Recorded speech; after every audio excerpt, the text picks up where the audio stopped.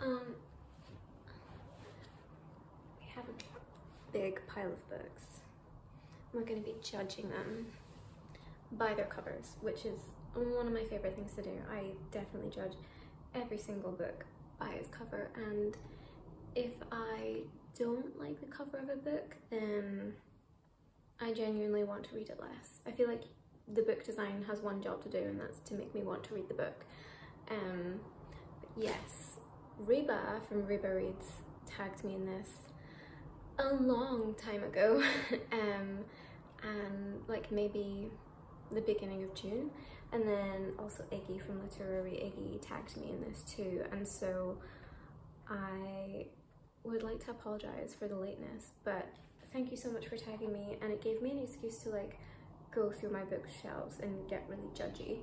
Um, we're working with limited stock because unlike Iggy who had an entire bookstore at her disposal to go through, my books are divided between my flat and my boyfriend's flat and I also loan a lot of my books to my sister so we're just working with the ones that I have at home so but I think I've managed to pull quite a few of them so we'll see how it goes. Also I think I'm wearing the world's most creased t-shirt but um, that's what we're working with today. Question one.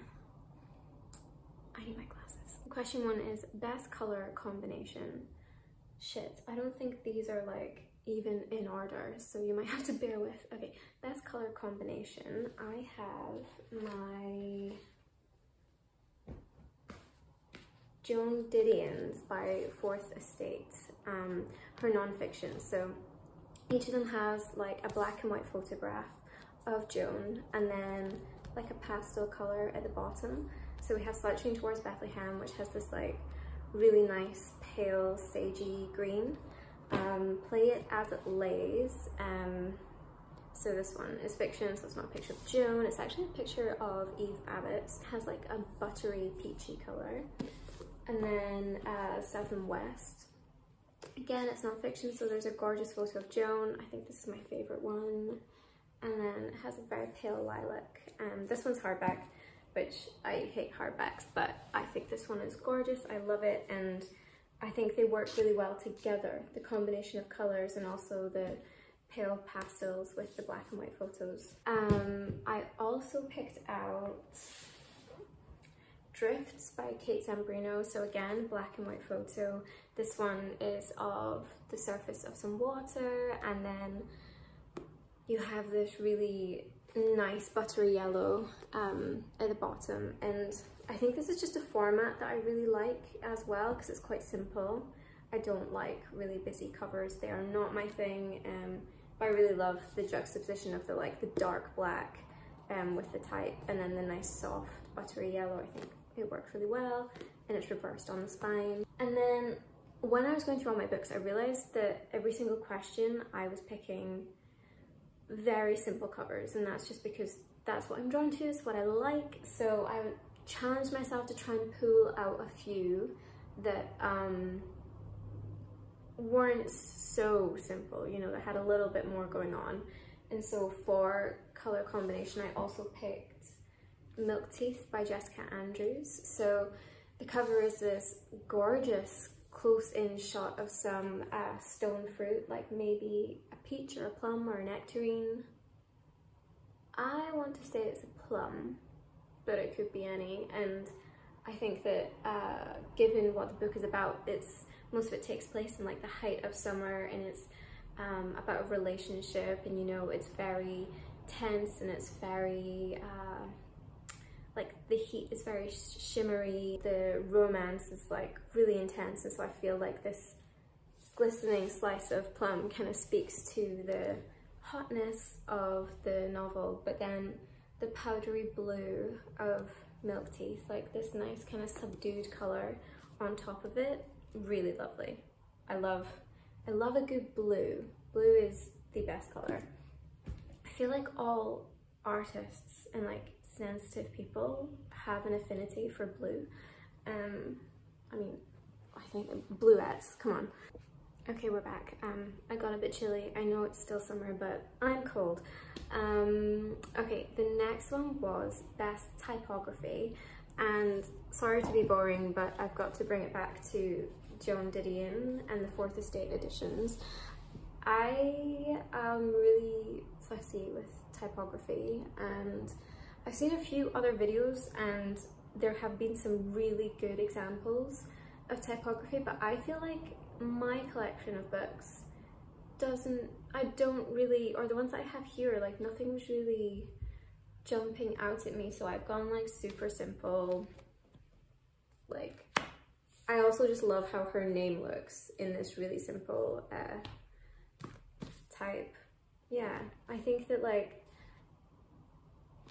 you don't really need much more than seeing the name Joan Didion like that on your shelf to be like, hmm, I think I want to read that. Or, I mean, that's how I feel anyway.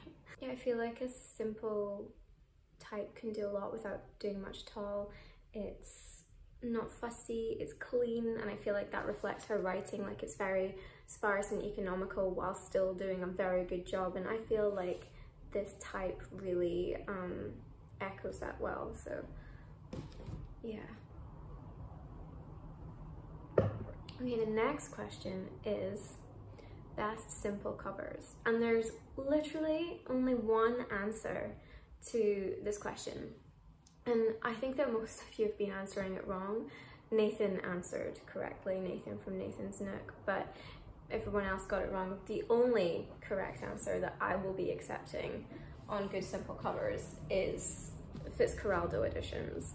Um, so their fiction is in this gorgeous, like, deep blue with the white type, and then their nonfiction is white with the blue type, and honestly, I don't need any more than that. That does it for me. Like, I'm happy. I'm so over the moon. I think that's gorgeous. They're not trying hard. You just trust that what is inside is good, and it is. Um, so this one I have of Drive Your Plow Over the Bones of the Dead by Olga Tokarczuk is an older version, I think, because The Birthday Party, much newer. It It's like a slightly, very slightly, I don't even know if it'll come up on camera, but it's like a slightly darker blue, the newer ones, slightly uh, whiter, and they have the French flaps, and they feel thicker. Um, and then the older one's a bit slimmer. The type is different. This type, so much nicer than this one. Um, this just feels a bit busy, but I kind of like that it's like super top heavy and then there's all this negative space, like that's very cool. Um, and also no French flaps in this book. Feels a bit thinner and um, also their logo changed. So it's embossed on the front, which I don't think the camera's gonna pick that up, but again, it's on the spine and you can see the different ones there. I prefer the older one, this one. But yeah, they're both nice. Uh, this is the only correct answer for simple covers. I will not be accepting any others. Okay, best end pages. So I don't really like when end pages have like an illustration or a design on them. Again, it's not for me, it's too, it's too busy. I just like a good color happening. And the best example I've seen recently is this gorgeous lavender. Like I love that, it's so nice. And I feel like it speaks to the book really well. So the book is Strega by Johanne Lykke Holm. This is by uh, Lolli, the publisher, and it's like this really strong forest green and then you have this delicate lavender and I feel like if you've read the book, the lavender just makes so much sense, as does the green because there's a lot of kind of nature involved, but the lavender is like, it's almost like musty in a way and like overly sweet and I feel like that really fits and I just love lavender in general so, so much. Um, yeah. Um, best map. I don't have any. Not in the books that I have here anyway. Um, I'm now wondering if does To the River by Olivia Laing have a map in it? if it does, that's my answer, but I don't have my copy. I think my sister has my copy.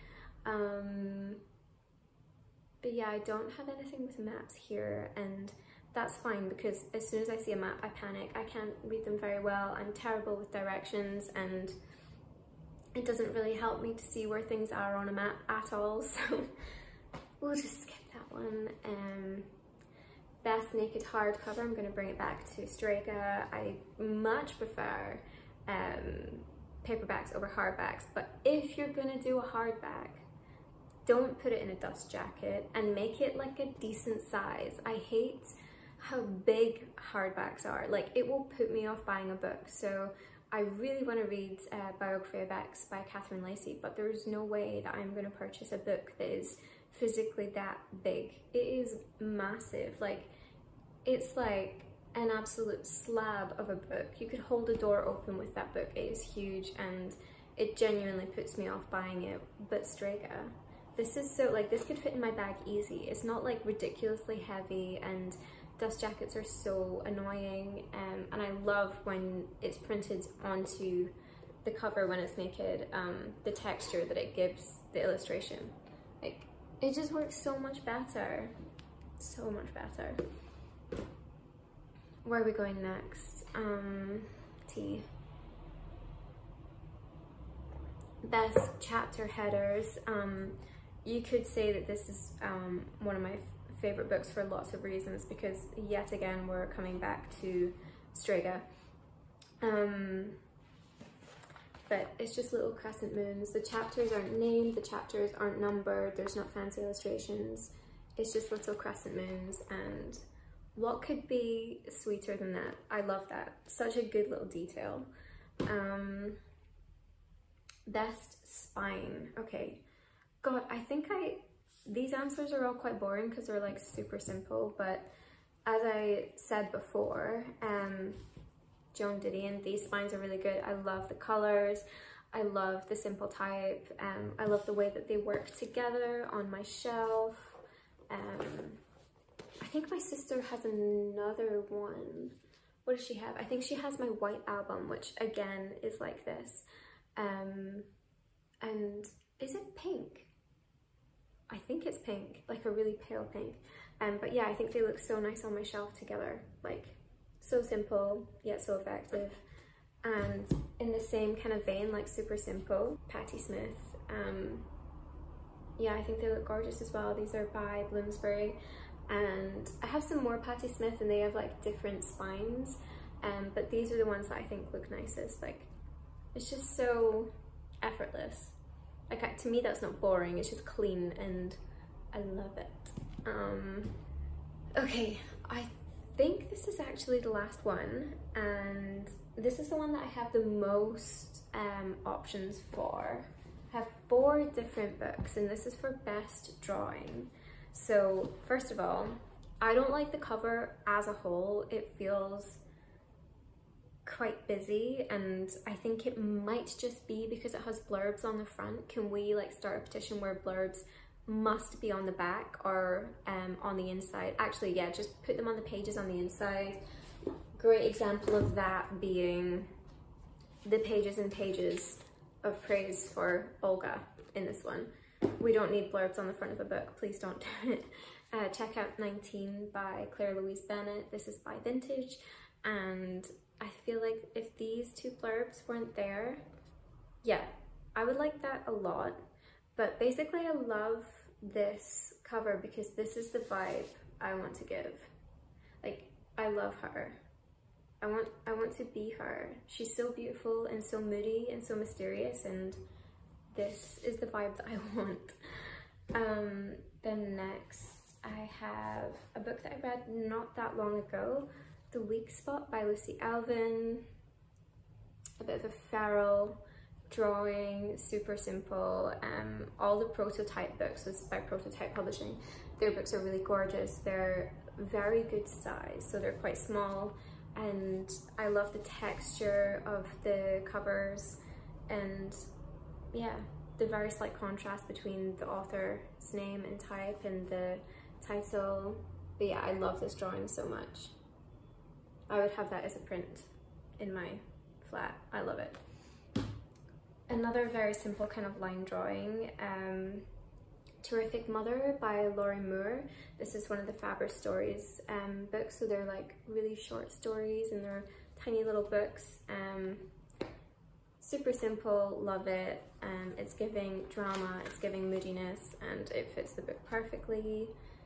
This is the only Lorrie Moore I've read actually, and I absolutely loved it. And I don't understand why I haven't read anymore because this really like wowed me. Would highly recommend this tiny little book. And then the last one is Weird Fucks by Lynne Tillman. This is by Peninsula Press and I really love the artwork on the front. And I love that it's like very subdued, moody colors. Um, but you've got this like screaming neon pink over the top. I I love it.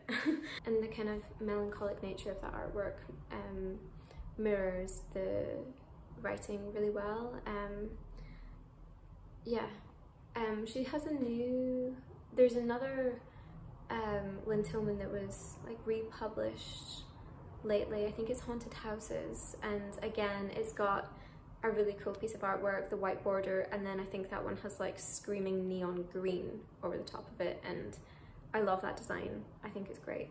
um, but yeah, short and sweet. There are some books from my bookshelves and I yeah, I think I speak a lot about not liking covers and loving covers and I would like to be more conscious about the covers that I'm buying if I, you know, I'm kind of like curating my bookshelves and my collection of books. Um, kind of like the chase of like finding nice editions of books. Um, but a lot of the time that also just depends on your financial situation. Like, can you really pay, can you justify paying a little bit more just to have a nice cover? Um, I mean, if that works for you, then absolutely do it. Um, because I do think if you're curating your bookshelves, then your covers matter. And from what I can tell from my bookshelves, simple is effective. Don't go too busy. It gives me a headache. Like my my favorite example of this is like book covers that work and book covers that don't work. And it's a shame because The Idiot by Elif Batuman is such a good book. I love that book. But the cover that I have, the UK cover, it it's horrendous. And same for the um, follow-up she wrote recently, um, Either Or. So bad. However, the US covers stunning.